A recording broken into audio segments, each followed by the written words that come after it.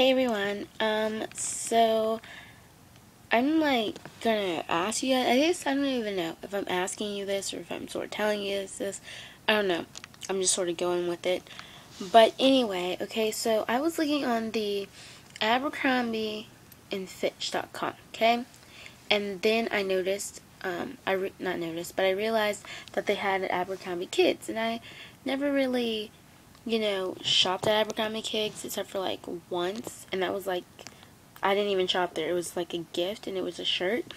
So, yeah, so I had never really like looked at their website, you know, because it said Abercrombie Kids, you know. I thought it was for like, you know, maybe like 12 and under, you know, like kids. And so I went to the website, and um, it's not really for like kids, like they say. It's basically just for like, I mean, you could say it's for kids, but I'm pretty sure, like, I'm 14, okay? I can still shop there.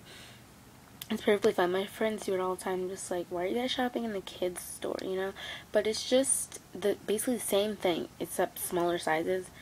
So, because um, uh, I usually go to Abercrombie to buy my tops and stuff and they run really big sometimes. So my friends go to Abercrombie Kids and they are in the right size. So you guys let me know what you guys think about the whole Abercrombie Kids and Abercrombie and Fitch. I think the Abercrombie Kids are for like the teenagers.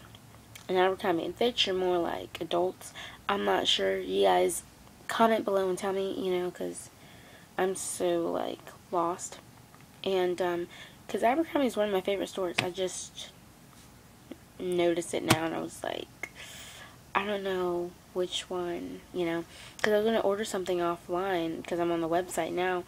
And I was like, I don't know if I should order it from this one or from, you know, Abercrombie and Kids. So, it's Abercrombie and Kids. I mean, Abercrombie Kids. So, yeah, you guys let me know um, which one you guys shop at. So I have, like, sort of an idea, you know. But yeah, just let me know like what um where you guys buy your clothes at. Is it Abercrombie Kids or is it Abercrombie and Fitch? Just let me know and I would greatly appreciate it. Thanks so much for watching. Talk to you guys later. Bye.